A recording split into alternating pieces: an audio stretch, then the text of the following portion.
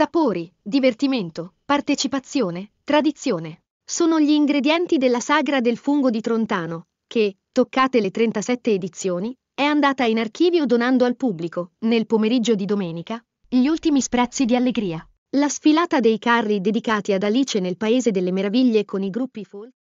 Scarica gratuitamente l'app News24 e leggi gratis i nostri giornali e se vuoi vedere tutto il video abbonati alla nuova televisione online e live 24 ore su 24.